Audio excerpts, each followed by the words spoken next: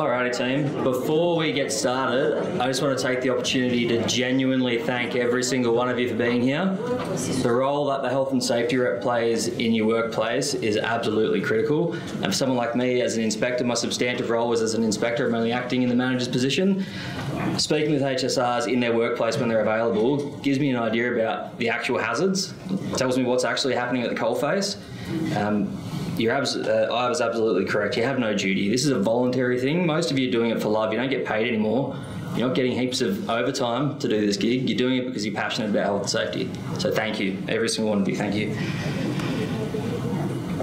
Uh, I'd also like to pay my respects um, and acknowledge the traditional custodians of the land, elders past and present, on which this meeting takes place. Uh, always was their land, always will be.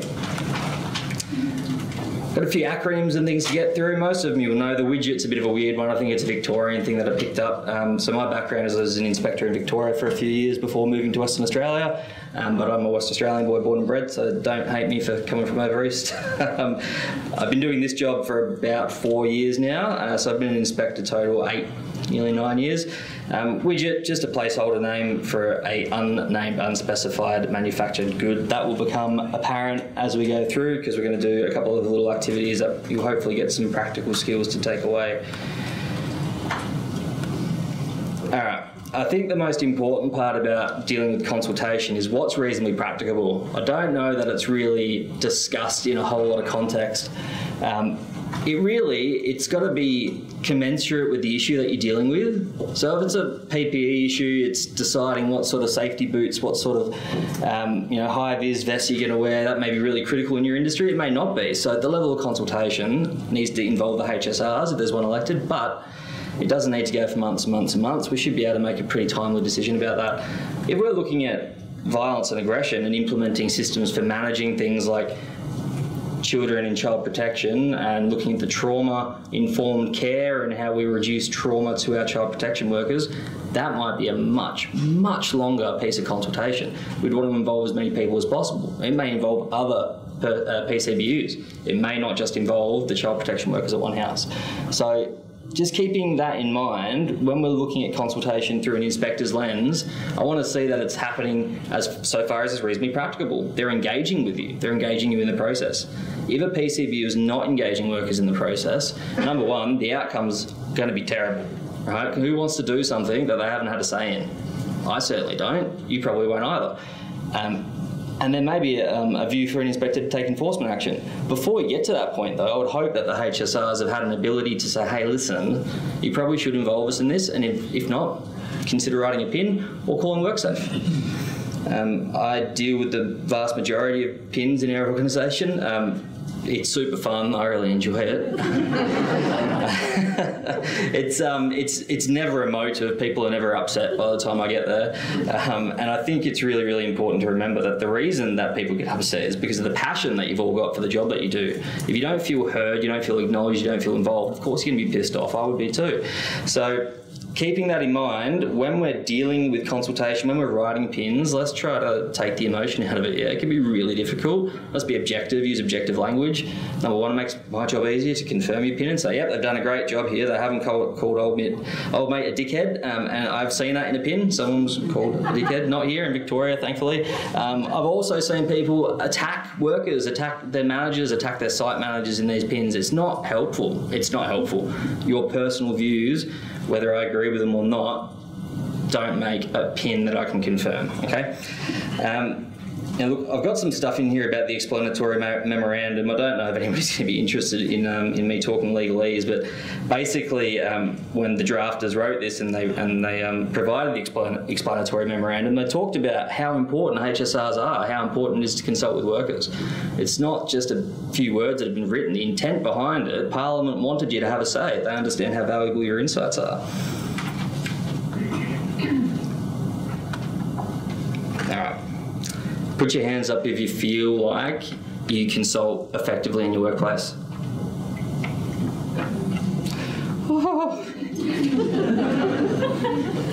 right. Um, I think, yeah, probably need this session then, yeah? Um, that's really sad, um, but not surprising if I'm honest. Um, how many of you are from large government organisations? How many of you have met your Director General? How many of you get to see your like your boss's boss regularly? How many of you get to raise concerns to those people regularly? Yeah, you see that the number of hands just goes down and down and down. Um, look, obviously, you're not going to have a chance to meet with the DG every other day. Um, they're busy; they've got lots to work on, um, and you know, do you really want to? Maybe not. You've got your own work to do as well. But I think um, it's a bit of a sad state of affairs when we can't say that, yeah, I've had an opportunity to raise issues. So we've got a number of systems, particularly in government, but if you're not in government, I hope your own private organisation got their own, to write hazards, to submit hazard reports. Like um, the amount of PCBUs that I've come across that are concerned that people are lodging hazards, no, that's what it exists for. That's why it's there. What's the worst that happens? nothing bad happens after you've submitted a hazard, right? It just brings people's attention to issues in the workplace. So if somebody's upset about it, they say, oh, we don't want that hazard, it looks bad on our end of year report, well, do you not think the injury that might come from that hazard is probably going to look worse? Like, I think more hazards and less injuries is where we want to be, yeah? So, there's three key pillars. It's consult, cooperate, and coordinate. Now, the cooperate and coordinate part is not just for workers in the PCBU or HSRs in the PCBU, it also involves other PCBUs as well. So, most government agencies will have a fair amount of interaction with other PCBUs, whether they're government or whether they're um, just you know contractors. We want to try to make sure that our health and safety processes align, and that you know I'm not doing A and you're doing B, and then we end up injured somehow, or you know something catastrophic happens. The intent is that we're all on the same page. If we all know what each other are doing, the chances of something going wrong, well, I guess could be really, really high it's a terrible plan, but the intent is that it's really, really low, that we know what's going on, we're all on the same page. My little pictograms there, enjoy those. Um, it's legislated for a reason. It's, it's really out of any piece, any section, any regulation, any piece of legislation that deals with work health and safety, consultation is the key pillar. If we can't get that right, how do we get anything else right? I've been banging my drum about this since I got here. I'll continue banging it until the day I die. It is the most critical element of our legislation. So, PCBU to worker duty. This is kind of what it should look like uh, when we're making a change or discussing changes uh, to things that affect our work health and safety. Hands up if that flowchart is something that you've experienced. You, I'll get everybody's workplaces after this. so, look, let's take it to something really, really simple. Um, because if I talk about psychosocial hazards, I'll be here for three hours and I'll take over the whole day, and I'm not going to do that. Um, let's have a look at changing a manual task um, in a workplace. And we've got a bit of an exercise about this later. Say your employer or PCBU has said, ah, we want to stop getting 100 bags of a 1,000 widgets, we want 100 bags of 10,000 widgets. okay, on paper, it probably doesn't seem that bad, but if your processor, your whole job is to unload those bags and process those widgets, you're going to probably be exposed to an increased manual task risk. So, what ideally should happen is the PCB goes, hey team, I want to change how many widgets we get in a bag. And you go, okay, cool, how many do you want? Oh, 10,000, but we're not giving you any other equipment to do it. That's a bad idea, boss. we might get hurt doing that.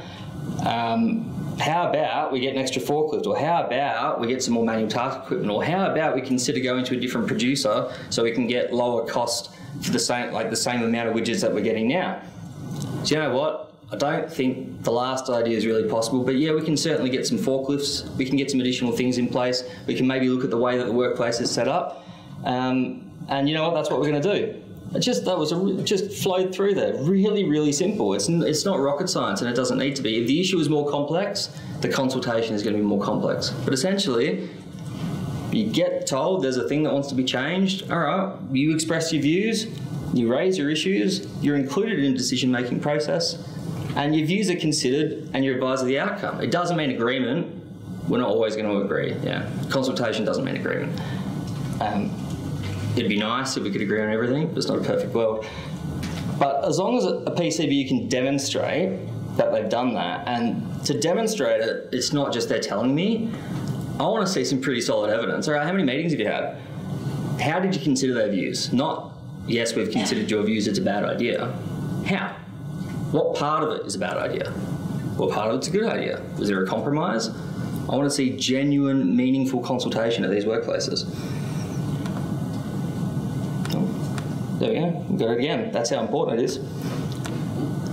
All right. So when is consultation required? I'm not going to read through every single dot point up there. I'm going to make the presentation available for people afterwards. Um, I'll send it out in an email so you can go through the points. But I mean, at its core, a change to a health and safety thing that's going to affect your health and safety, not something that is very unlikely to affect your health and safety, but it's likely to affect your health and safety. And as HSRs for work groups, it needs to be relevant to your work group. Okay, so if you are a, um, I don't know, a, a prison officer, um, and the change is going to affect one of the like office worker areas, and it has no impact on you, they don't need to consult with you about that, but they do need to consult with that whole office area. Um, if you're a truck driver and they're going to start changing the seats and you know monitoring things in, in the truck, yeah, they should talk to you about that, but they don't need to talk to everybody else that's not involved. It's going to be work group specific. And the reason that work groups are fantastic is that you've got people that understand the work that you do. Um, I can't imagine how horrible it would have been from 1984 to now, having to try to explain to people this is what I do for a job to get somebody to listen, to understand. Now, hopefully, that's not happening. Now, hopefully, you've got an HSR that understands. They go, oh, I know what you do for a job. Cool. You don't have to explain the rest of it. You can get straight to the nuts and bolts. Oh, okay, again. What have I done here? Sorry. Uh oh. Yeah, okay, yep. At least they're not star fades in and appear. Okay, so we've sort of talked about this already. Hands up if you think you have a duty to the PCBU. Hands up if you felt like you've had a duty to the PCBU. Hands up if you've been directed to do work as an HSR. I'm really pleased that there's not that many hands going up. I was kind of expecting the opposite. Um, look, Section 70 talks about the PCBU to HSR duty. They've got a whole bunch of obligations there. Um, you have zero, zero obligations to the PCBU. You're doing this out of love, and it's such a critical role, and I don't want anyone to stop doing what they're doing. But you've got your own workload to manage, and the PCBU certainly has to provide reasonable time. But we know in the public sector, resourcing is a struggle. So please consider your health and safety, your own health and safety, before you start running into bat for everybody else. Um, but you have no duty to them. Um, historically, I've seen HSRs used as pseudo WHS coordinators, free labour. Um, I, don't, I don't want to say that. I want you to be involved in investigations. I want you to be involved in risk assessments. I want you to be involved in consultation. I don't want you being directed to go investigate an incident and then ex- expected to fix it it's not, not what you're there for from a five day training course. It's unfair. It's unfair to do that to you. All right. I have um, stolen the next slide from Comcare. I hope they don't mind. And this is going to lead us into pins. This flowchart, which I've, um, I've fixed because it was not totally accurate for Western Australia, it sort of sets out when you should consider issuing a PIN.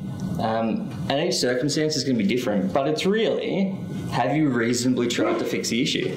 We're not sliding slips of paper under doors, which happens.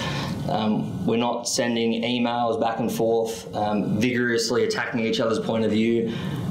If we can sit down in a room, or at worst on the phone or Teams, like let's just talk to each other and not send a thousand emails back and forth. It's not effective. And I get there's going to be a lot of PCBs that say, oh, it's not reasonable for us to sit in a room and talk about it. Well, if the issue is serious enough, yeah, it is. At least by teams. Let's have a conversation. That's practicable. Um, and you can't have your words taken out of context then. But essentially, this is what I would like to see before going out to review a pin, um, which feels like an every other week job, to be honest.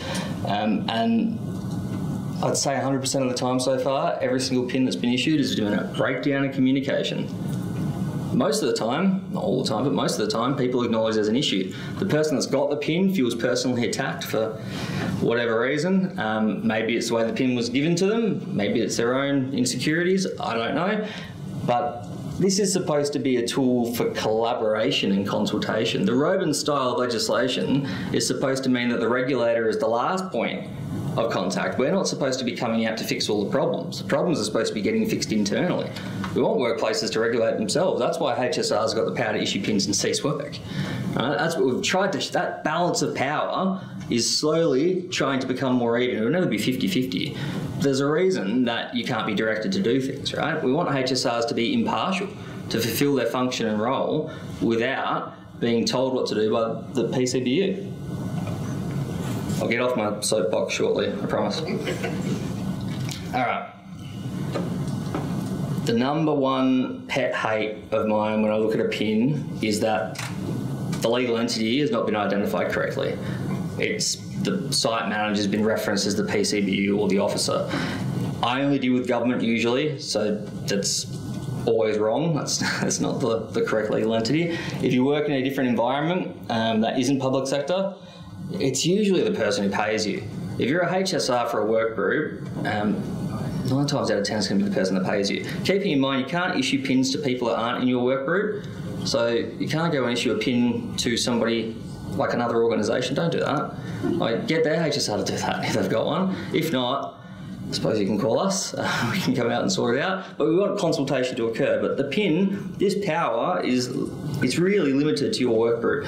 There are provisions where, you, where it can be, oh, you can do it to somebody else's work group, but that's only when they don't have a HSR readily available, yeah? Now, four common types of legal entity. I'm going to go a bit legalese on you. Have a look at your pay slip, find out who pays you. That's probably the person conducting the business or under, undertaking, usually. If you write them and their legal entity correctly at the issued to part in the PIN, you'll make me a very happy man. Most times in state government, it's going to be the state of Western Australia, responsible agency, department of blah blah. Um, but sometimes it'll be a company. It's never the ABN. Don't write the ABN in. It's not a legal entity. It's just a trading name. There's something behind that. It's a trust. It's a sole trader. It's a partnership. If you're having dramas, you can call the work the call centre, um, and I'll probably get a phone call to talk to you. Um, but if you're getting stuck, you can always call us. You can call your union, ask them; they might know. Um, you know, go talk to other HSRs, try to work out the problem yourselves. But please, if you get nothing else out of today, identify the correct legal entity on your pins. Oh, and I've done good. All right. Put your hands up if you've written a pin. Put your hands up if it's been reviewed by a WorkSafe inspector. Okay. That tells me either two things. One, you're writing very, very good pins and we never get involved. Um, or two, uh, you're not writing pins because you don't feel comfortable to do that. I've not done the HSR training, so I don't know what you get taught um, in those classes. But you need to identify the elements of the alleged contravention. So, what do I mean by elements? It's the part of the section of legislation that you're using that talks to what the problem is, and you have to address all of them. So, we're going to do a section 19 breach in a little bit, of the primary duty of care. And we're going to go through these are the really critical pieces that you have to include. Um, and if you don't include any of them, it might make your PIN invalid. Uh, now, I know our legislation talks about a PIN's not going to be invalid solely for technical reasons, and that, that is true. But if you don't identify that, you know, the contravention is happening at your workplace, if you don't identify that workers are at risk, um, if you don't identify that you know the person who has the primary duty of care has failed to do something, it's going to be really difficult for someone like me to confirm it.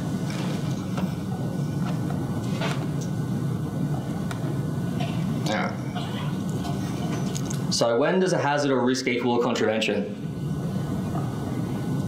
Well, it's when people are exposed to a risk of injury from that. And the PCBU hasn't, so far as is reasonably practicable, controlled exposure to the risk of injury from that hazard. Alright, so if you're going to write a PIN, here's some things to consider. Are there any contentious elements? They're the things you need to focus on. Is it a million dollar control for a $10 injury?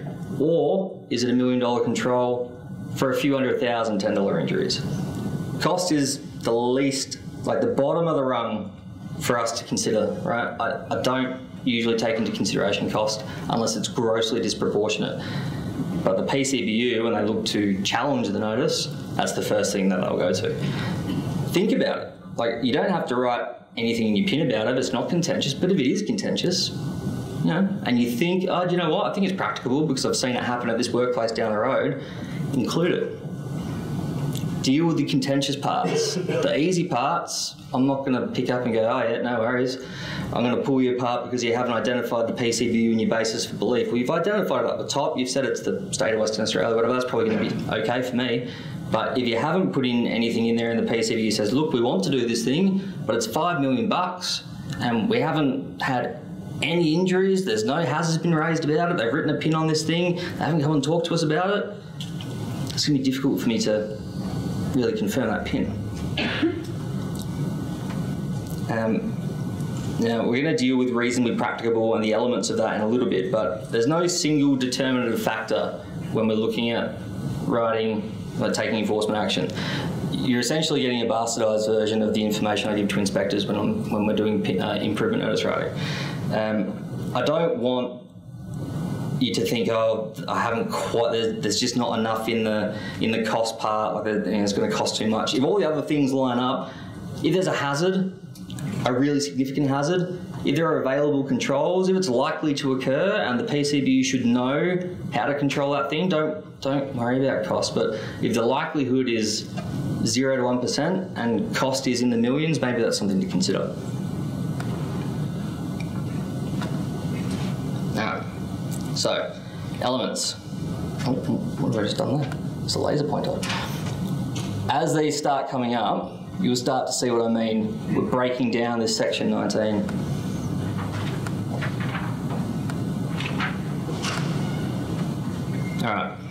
So we've got a person conducting a business or undertaking must ensure, so far as is reasonably practicable, the health and safety of workers engaged or caused to be engaged by the person, and workers whose activities in carrying out work are influenced or directed by the person while the workers are at work in the business or undertaking. It's a whole lot of legalese, but basically, does your employer, does your PCBU, have they ensured so far as is reasonably practical that you're safe at work? And what happens if we take away the at work bit?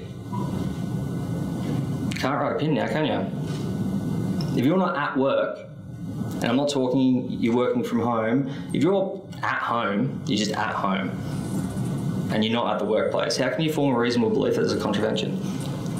Is the hazard exposing people who are working in the workplace to a hazard? Every single one of these elements is really critical for you to get right.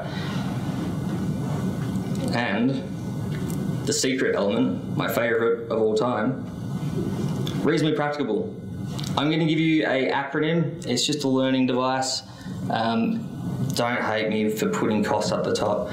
Uh, the only reason I do it is because the acronym doesn't work otherwise.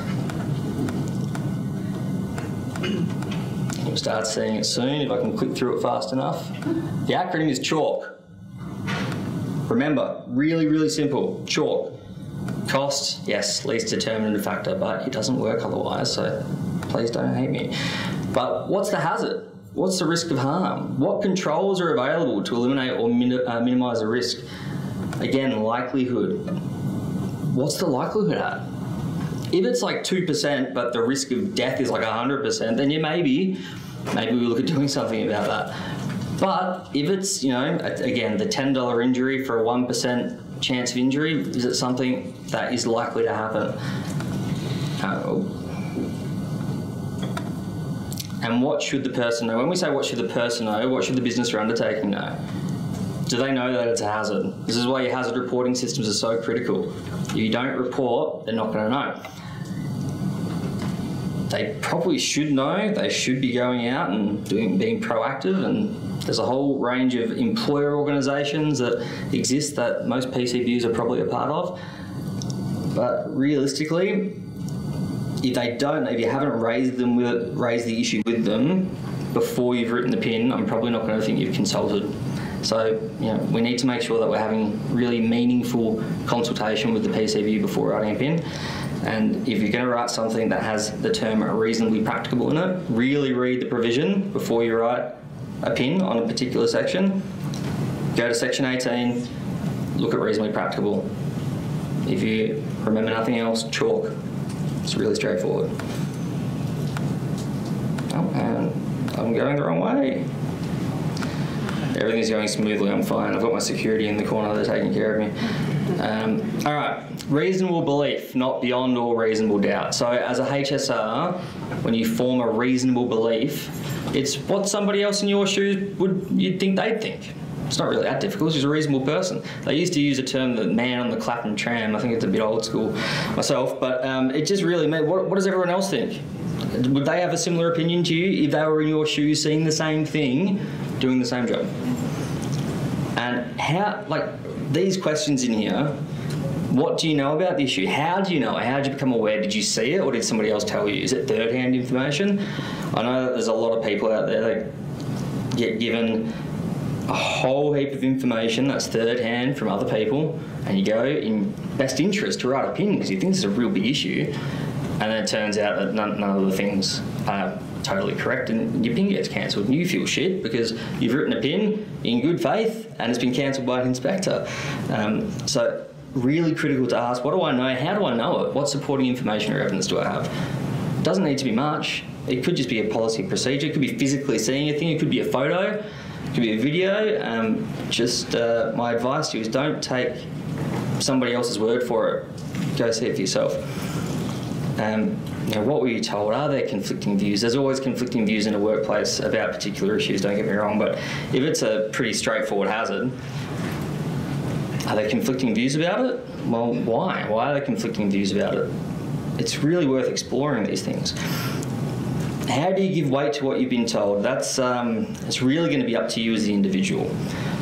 If you've been told, if, look, psychosocial hazards, we know that we pretty much can't see any of them. Um, we know violence occurs.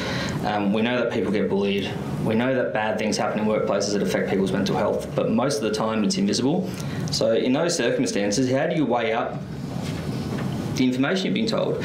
You could just do it, I've been told by 10 people this thing and 5 people the other, so I'll go with the 10, but ultimately it's up to you to decide which information you think is true. And you do what you, you do the best you can, and if it gets challenged, someone like me comes out, and if your pin gets cancelled, don't feel bad. I have improvement notices cancelled. Shit happens. I just want to make sure that it's the safety outcome. Safety outcome is the most paramount thing. So, um, when we're talking about linking your observations to the elements of the, the alleged contravention, it's really breaking it down to these three critical things. What's the thing that you saw? Why is it wrong? And how does the like how has the PCBU failed in their duty, or how has the provision been contravened? I saw a large pit with no barricading or no edge protection workers and people are walking nearby and they could fall in, and if they did, there's spikes at the bottom of the pit and everybody's going to die. You're probably going to do a cease work for that one, so let's just say no spikes and you're going to break your leg. You failed to ensure, as far as is reasonably practicable, that to protect workers and other people from falling into the pit. Like it's really straightforward, isn't it? When you break it down to the three simple elements, what have you seen? Why is it wrong? And what should the PCB have done to fix it? I've got a couple of pin examples that um, are going to be sent out so that you can have them. You can take them away. One's for violence and aggression, and one's for the manual task, the uh, the widget manufacturer um, scenario. And hopefully you can take those, and hopefully they're not wrong. uh, but hopefully you can take those, and they'll give you an example of what you can do.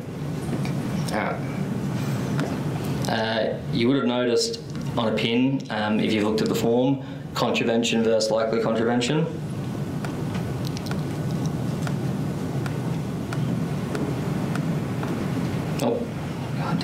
time. Every time. Is it happening now? It's contravention. Has it happened but stopped? Likely contravention. Are people climbing off the roof of a workplace and they're finishing work for the day, but you know they're going to go to another workplace and climb up on the roof the next day? It's likely contravention. Seems kind of counterintuitive because you think, well, they're going to. It's a contravention. They're going to do it again. It's It's not my book. I didn't write it. That's the way the, the lawyers like it. So make sure that you ask yourself a question: Is the thing happening now, or is it stopped happening, but you think it's going to happen again?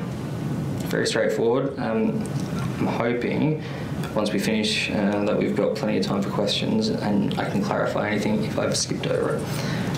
All right. Tips for success. I've already talked about some of the weird and wonderful things I've seen in bins. Um, don't use emotive language. Don't conflate issues. One pin, one contravention. Uh, if it's a fall from height issue, just write in about the fall from height issue. Don't include any of the failing to consult stuff. Don't include any of the psychosocial hazards. One contravention, one pin. If you have more than one piece of legislation in there, I'll cancel the pin don't use case law in a pin. I've seen people referring, like directly referring to common law cases in pins. Please don't do it. I can't confirm your pin. Yes, you're probably smarter than I am. Yes, you've probably read all these cases, but I, I can't. I can't do anything with that. It's got to be a, a, section of the WHS Act or Regulations. That's all we're empowered to take enforcement action under. Do be objective do try and think from different points of view. Some stuff you can't. Some stuff is so straightforward that there isn't another point of view. Oh, there's there's a pit, there's spikes, we're not going to put edge protection up because we can't afford it. Well, that's a stupid point of view, don't consider it. Um, but if we're looking at things that are really complex, like violence and aggression in the Department of Child Protection, people that work in that space, they want to do a good job. They want to provide a safe environment for kids. They want to make sure those kids uh, you know, have their trauma dealt with. They want to provide a safe workplace for a safe home environment for them, but they also want a safe workplace and don't want to get punched in the mouth or screamed at or abused.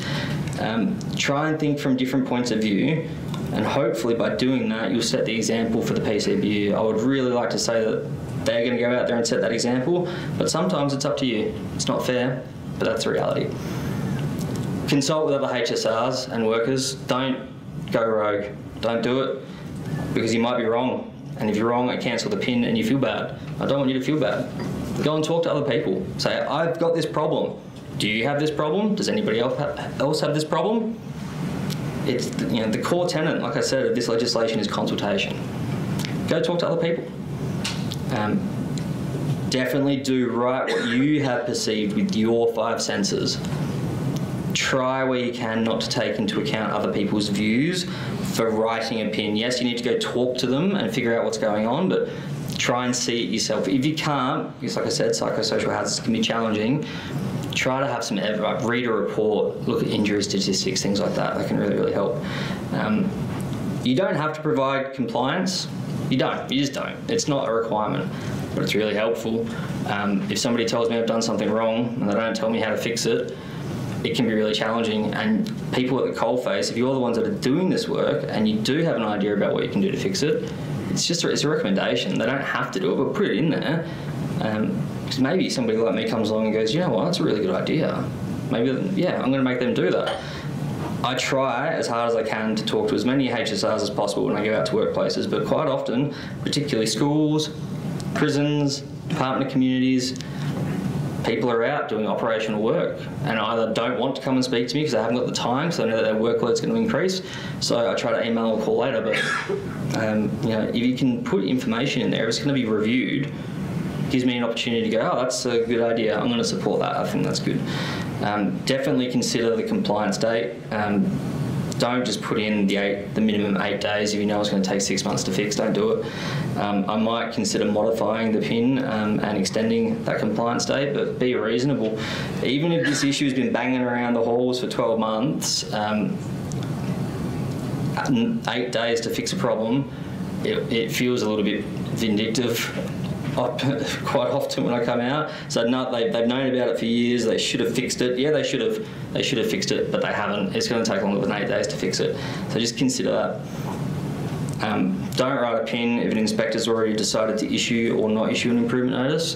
If it's an inspector not issuing an improvement notice and you think they should have, call us and say, I think they should have written an improvement notice don't write a pin because it'll be cancelled just on that basis alone. And remember, if a pin gets cancelled, it doesn't mean that the inspector doesn't look at the substantive issue. We still look at the issues. We'll still come out and look at it. But what I really want is if you can write good pins, the PCB hopefully will get these and go, okay, yeah, fair point, we'll do it. And we're left out of it totally. We shouldn't have to come in because I don't know everything about every single workplace. I just don't. And I might make a bad choice. I might tell you to do something that is silly. And because the PCBU thinks they have to do it, they, they implement it. Workplace safety is best managed by the people that know the job that they do. So, yep, I can come out and I can do my job, but it's way better if you guys can do yours and get the PCB on board. All right. I think this next one's uh, hopefully not going to take all that long, so we can get some questions in. I'm not going to read it all out to you. Uh, it's the widget scenario that I raised before. So, a pin for failing to consult. In a circumstance like this where a workplace has said, we're going to change a thing, and we're not going to consult with you because it's a business decision and it's not health and safety related, but it clearly is, you'd probably be in pretty good stead to write a pin on failing to consult. So, what does that look like? What do we need to address here? Well, is there a hazard? And is it going to affect your, your health and safety? Well, in this circumstance, sorry, is there a risk of injury emanating from a hazard? And is it going to affect your health and safety? Well, if you put yourself in their shoes and you're one of the workers that have to unload the widgets, yeah, it is. Did the PCBU consult with you? No, they gave you information. They didn't give you a chance to provide your views. They didn't take into account your views. They didn't include you in the decision making process. They said, nah, I'm not talking to you about this. It's not anything to do with you. All right, yeah, they failed to consult. That's pretty clear, isn't it?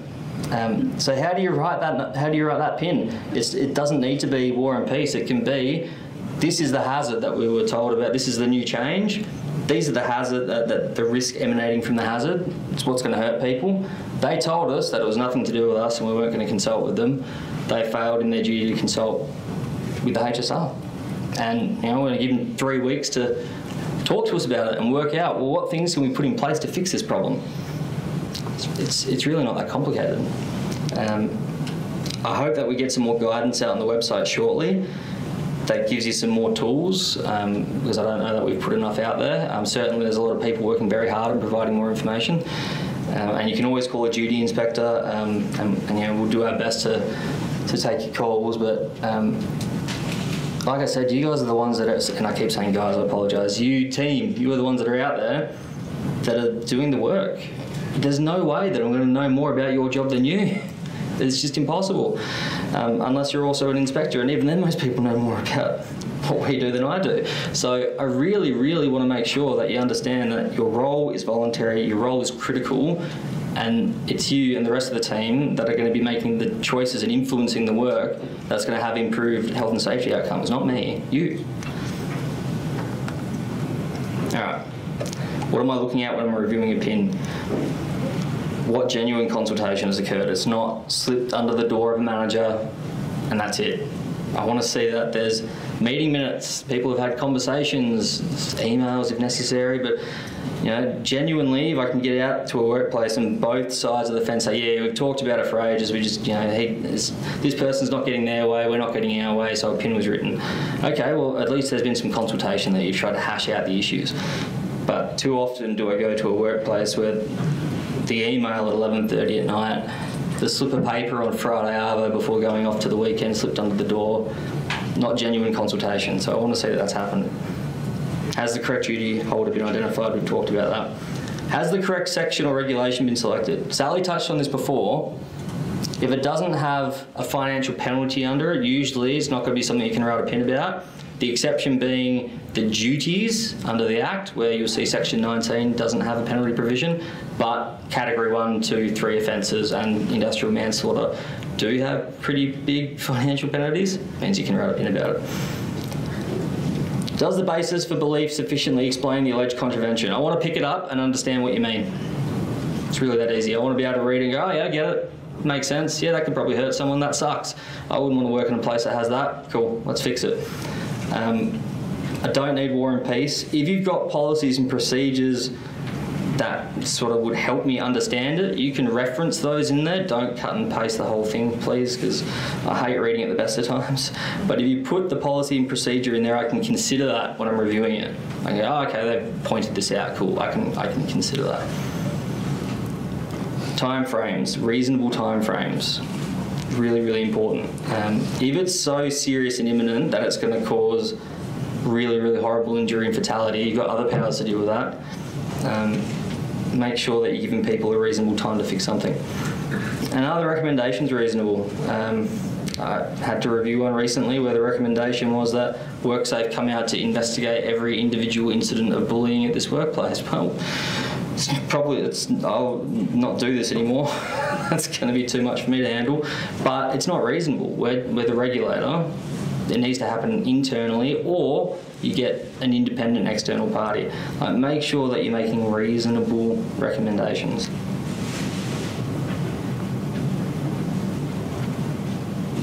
Um, don't write pins that don't affect your work group. Don't do it. Your powers don't extend to it. If somebody has asked you for help and there's not another health and safety rep or deputy available from that work group, ask yourself, is it urgent? When are they back next? Like if the HSR for that work group is on deck the next day, can you wait? Have a chat with them about it. Don't get wound up, don't get spun up, don't get sent off to write pins for somebody else's cause. You've got your own work to do, form your own reasonable belief, talk to another HSR of the work group that the issue affects. It might be getting dealt with. Okay? Um, don't write notices on officers. Don't do it. All right. It's the PCBU's got the primary duty. If you think the superintendent, the school principal, the the whatever is an officer, well, they're, they're probably not under our legislation, which means I'm going to have to cancel it. And uh, I don't know that I'm. I'd be all that full bottle writing a pin, uh, writing an improvement notice on uh, an officer right now. I'd want to go and talk to a bunch of different inspectors, and well, talk to Sally because she, might get upset if I do something without letting her know first when it's something that's that that big a deal. But just don't do it. Don't identify individuals just unless they are the person conducting the business or undertaking. So, you know, Jack Smith is the person who pays you. Don't write the school principal. Don't write the house manager. Don't write the person that's in charge if, if they're not the person that's paying you. It's the person conducting the business or undertaking. They've got the primary duty. I don't want to cancel pins, by the way, team. I hate doing it. It's the least fun part of my job is going and sitting down with the HSR and going, I'm really sorry. I have to cancel your pin because it hasn't addressed all the things that I needed to address. It's awful, especially the same sad, angry look in their face every time. It's really, really heartbreaking. So if you can think about writing a really good pin first go around, number one, maybe the PCBU doesn't review it because it's really, really good. And number two, if they do, I can sit down and go, yeah, cool, they've done a great job here. I can confirm that pin and we can move on with life.